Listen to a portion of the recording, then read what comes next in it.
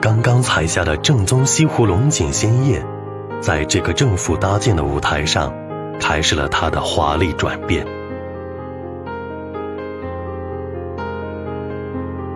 参加比赛的选手，最小的也已经过了四十五岁。青年人没有人愿意干这行，这或许才是政府该考虑的事情。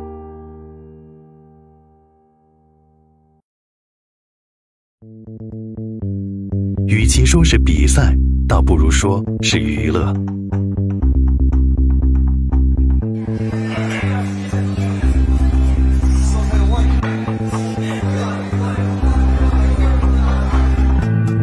国家级非物质文化遗产西湖龙井茶炒制技艺，就在这种娱乐中不再有温度。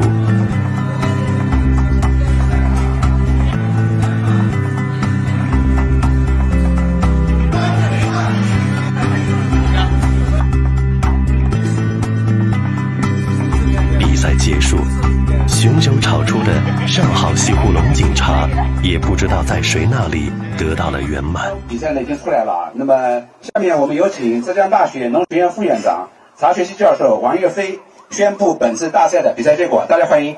三等奖是何家园、邵明海、杨国军，有请这三位选手上台。大赛草茶王是裘小华，大家鼓掌啊！恭喜裘小华，本次九十六分，这个是第一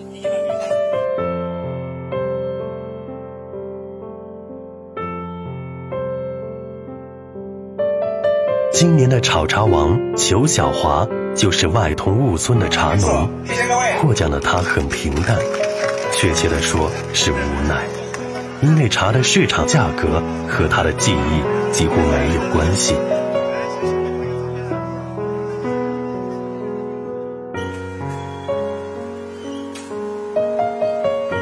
机器和市场让茶再也跑不出手工的温度和香醇。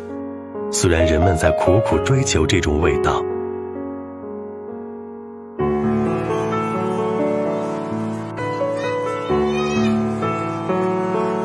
在我们摄制组的请求下，外同雾村的裘队长给我们演示了一次手工炒茶的全过程。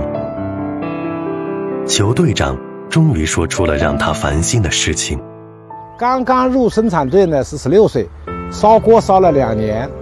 正确的制茶呢，我是十八岁开始，一直延续到今天，也就是说要将近四十来年。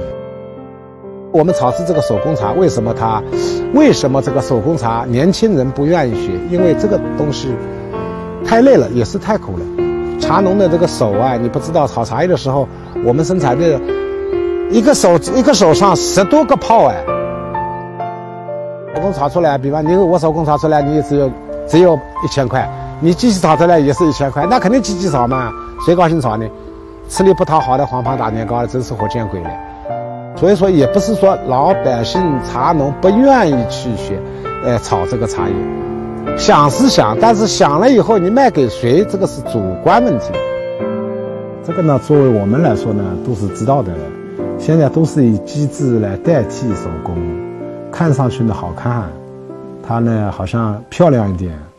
其实呢，感官意识上呢，口味这一块呢，肯定是手工制作的好吃一点。